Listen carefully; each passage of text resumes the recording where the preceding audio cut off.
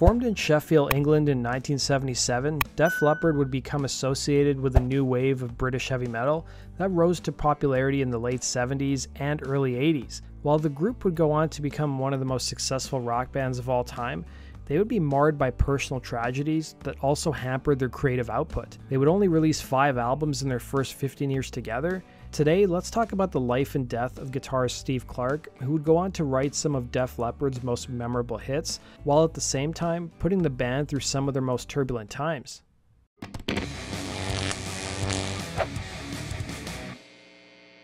Born to a Sheffield taxicab driver, guitarist Steve Clark would first pick up the guitar at the age of 11, getting into classical music. But it would be Led Zeppelin who gave Clark a clear picture of the type of music that he wanted to play, according to his memorial site, with him saying, and I quote, I used to listen to the radio, watch TV, and hear groups all the time, and I knew that I wanted to make music, but I wasn't sure exactly what kind of music until I heard Jimmy Page.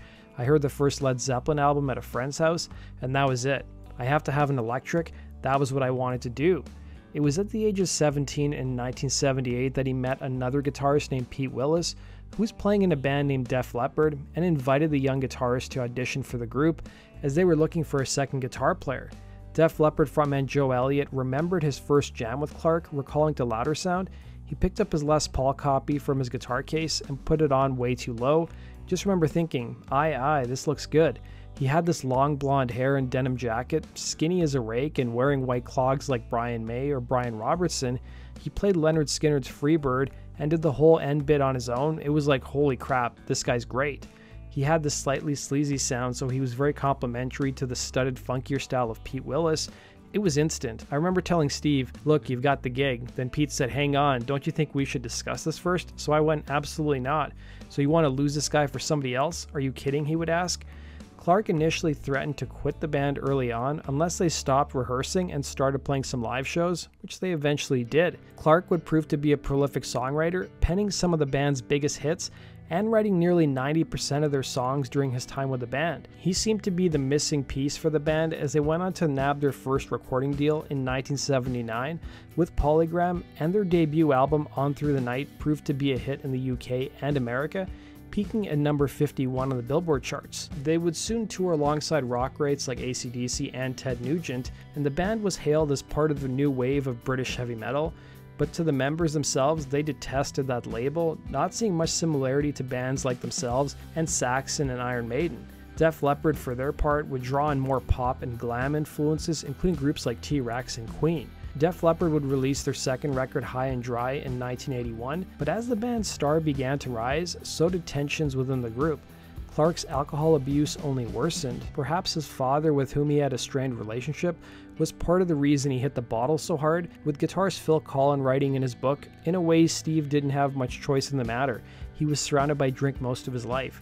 Steve's dad was a taxi driver, and I think Steve was always trying to prove he was worthy of his rock star status. Steve had to prove his manhood to his dad all the time, that he had the values of a Sheffield steelworker underneath his golden splendor. By the early 80s, Clark began to butt heads with Pete Willis, who was ironically also a heavy drinker, with frontman Joe Elliott telling Louder Sound. By the time we were touring in 1981, Steve couldn't even stand to be in the same room as Pete, because Pete would always be the one who used up all the towels whenever he had a shower, and things like that. When Pete had to go, there weren't any great protests from anybody in the band. Ironically, Pete would be let go by the band due to his drinking problem. It was now 1983 and guitarist Phil Collen would join the group, and while Clark was intimidated by his guitar playing at first, they soon bonded and came up with their trademark dual guitar sound. Apart from their musical relationship, the pair bonded outside of the studio and stage, largely due to their penchant for alcohol, partying, playing pranks, and deep conversations. The pair became known as the Terror Twins. Collen would write in his autobiography, Adrenalized, we quickly became best friends. It wasn't just the guitar playing or extreme boozing. We both found that we were soaking up all that we could and learning more on the road than we could ever learn at school, with a healthy appetite for new and exciting cultural discoveries. We also found that we loved each other's company. We could get into deep conversations that would last for hours, he would write.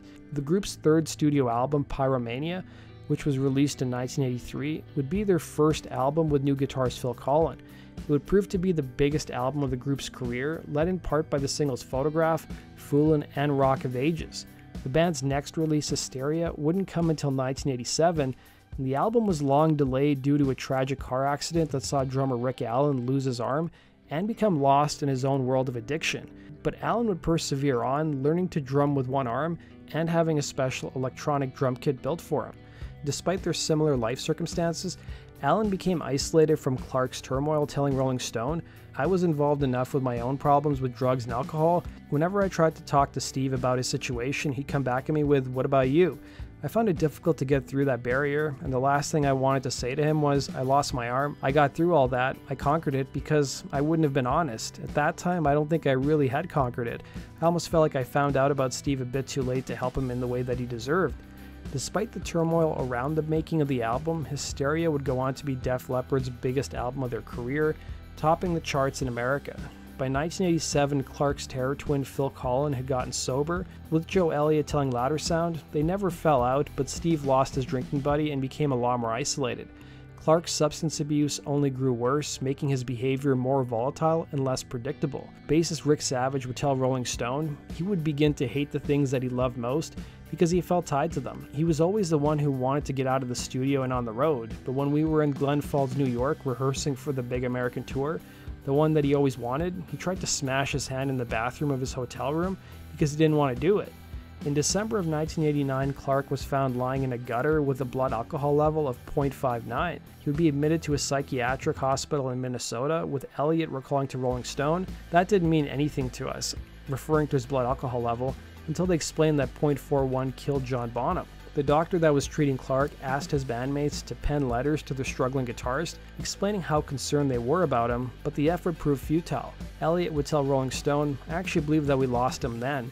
Mutt Lange, our producer, turned around to me when Steve left the room after we'd done all the letter bit, and he said, He's got a dead man's skin. He was right. His skin was like orange peel, that texture. He looked great other than that. He was skinny, had his cowboy boots and jeans, his hair was brilliant, but you looked close up at his face and he looked like a guy that was dead. It was following his stay in the hospital that Clark was given six months off from the group to straighten out his life, with a promise that he'd be welcomed back into the band. He would attend rehab in Tucson, Arizona, where he met another patient, a recovering heroin addict named Janie Dean, with whom he fell in love with, and the couple soon got engaged. They made a pact following their stint in rehab to keep each other on the straight and narrow, but both of them quickly fell off the wagon. On January 8, 1991, the guitarist was found unresponsive on the couch in the couple's home by his fiancee, and his death would be attributed to a lethal combination of alcohol and prescription drugs, including Valium and codeine. With Collen writing in his autobiography, he had been drinking and he cracked a rib earlier on.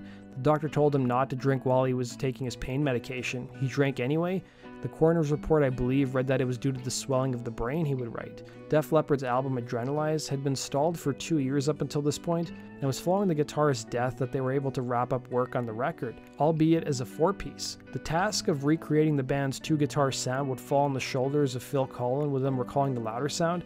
We had recorded demos on multitrack, so it was really easy for me to get inside that. I was sitting there with him when he played the original parts, I could relay that, but it was like playing along to a ghost. When you hear that original track and there he is, it feels like he's alive. It's really weird, a very strange sensation he'd recall. While the news of his death still shocked the members of the band, it also came as a surprise, with Savage telling Rolling Stone, Joe said to me sometime afterward that it was almost like having an elderly grandma you know is going to die sometime, but you don't think it's going to be today. According to BackseatMafia.com, it was following the guitarist's death that the tabloids started publishing stories that Clark had been feuding with his father over money. Clark would eventually be replaced in the lineup by Vivian Campbell, who's still in Def Leppard to this very day. As for Clark's fiancee, Janie Dean, she would die a few years later due to substance abuse. Collen would look back at his departed bandmate telling Louder Sound, I remember how record producer Mutt Lange summed up Steve one time. He said, Give me the thinker over the player any day. That was Steve. Mutt said there are a million session sausages. That's what he called session players, but they have no ideas. They're clinical. But Steve, he was a thinker, as a player and as a man. There was a lot going on in Steve, unfortunately, sometimes a bit too much. Steve was a work in progress. It's very easy to talk about this after someone has passed away, but Steve really did have a lot more left to say. Steve was on his path to discovery, and booze put an end to that.